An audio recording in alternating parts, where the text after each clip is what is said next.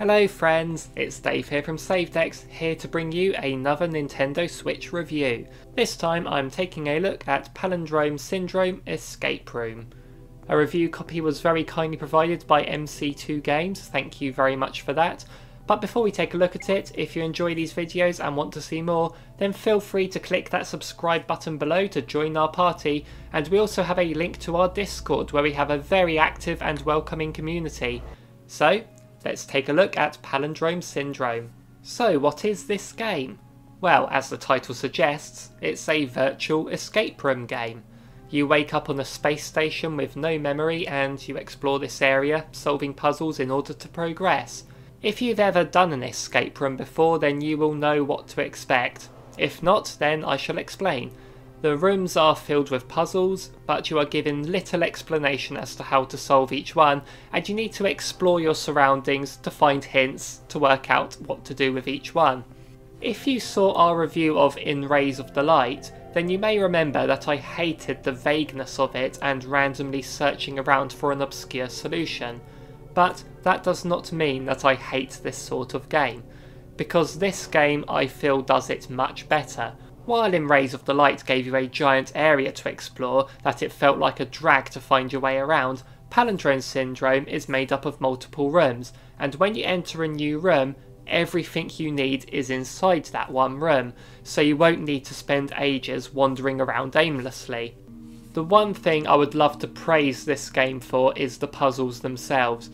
I will be showing off plenty of them in this review without showing any solutions, Annoyingly, my computer froze without me noticing when I first played this game, so the footage didn't record.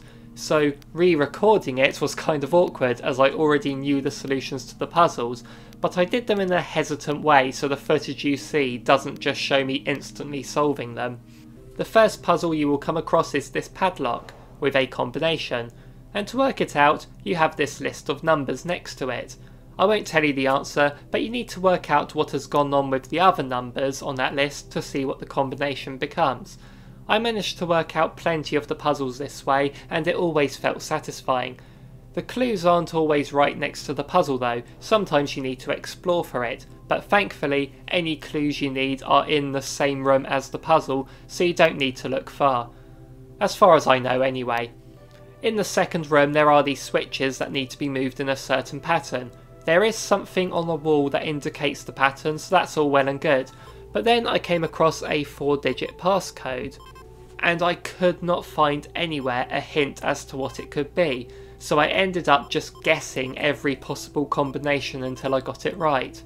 Sadly, there were a few moments in this game where I had to resort to tactics like this, but they were few and far between, the majority of the puzzles were hinted at just enough that I was able to work it out without it being too obvious or too obscure.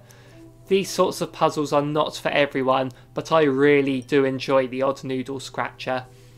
So for the puzzles and the overall atmosphere of the game, they really did a great job for the most part, but there were sadly a few issues that let this game down for me, and that's mainly with the controls. Bear in mind I am reviewing the Nintendo Switch version, and this game was previously released on Steam, and I have not played it on Steam, but I feel it's probably more suited there. You use the left stick to move and the right stick to look around. A is to interact and B is to deselect things. X and Y are to bring up your diary entries and inventory, you can also hold L to run. When using the right stick to look around, an icon appears on items that can be interacted with but in order for it to be selected, the small dot in the centre of the screen needs to be over it.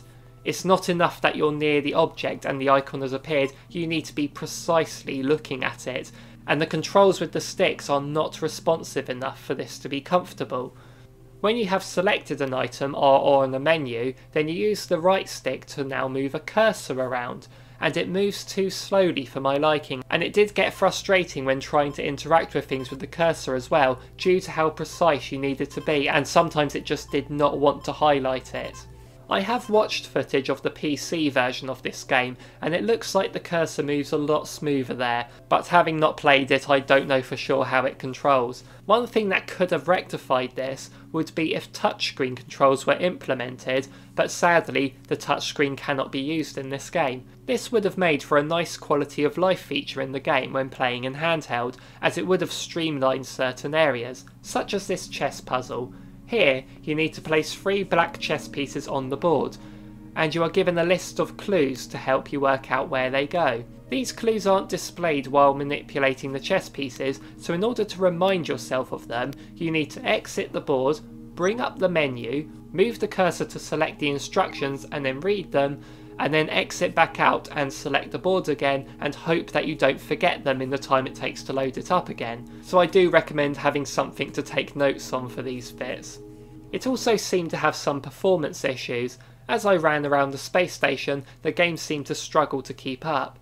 I don't tend to notice things like this, but it was distracting here, but outside of that, the game looked good and presented a mysterious atmosphere as you work out what's going on, and you have this spooky voice to talk to you every now and then. You promised you would take care of her. Margaret, where are you?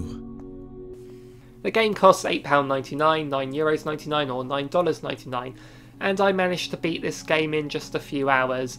And as is the case with games like this, once you've beaten it, then you probably wouldn't want to go through it again as you'll know all of the solutions. This is a tricky one to say if I would recommend it, as I did enjoy the puzzles on this game and thought they were crafted well. I had a great time solving them. There was enough mystery and hints to get me invested, but nothing was so obscure that I got frustrated and needed to consult a guide. Except for the couple of times I needed to guess my way to the right answer. So the game and the puzzles itself is good, I really enjoyed solving them, but I really didn't like how this game handled. Using the cursor was frustrating and unresponsive at times and made simpler tasks more faffy than they needed to be. With the implementation of touchscreen controls and being able to bring up your hints instantly, this would have been a fantastic little title and a great way to test your brain for a couple of hours, but given how it controls, I don't think I could recommend it on the Switch. Like I said, I've seen PC footage of this and it seems to move the cursor a lot easier, so I would recommend taking a look at this game on Steam as there really is a great escape room with clever puzzles hidden in here. If you really enjoy these escape room type games, then this is worth checking out on a sale I'd say. The controls will hinder you a lot of the time, but the puzzles are still really good. So that's what I thought of this game. What do you think of it? Are you a fan of escape rooms? Are there any on the eShop you can recommend as now I have a bit of an appetite for them? Let me know in the comments down below and make sure to like and subscribe and all that and really all I can say now is thank you so much for watching. See you in the next one.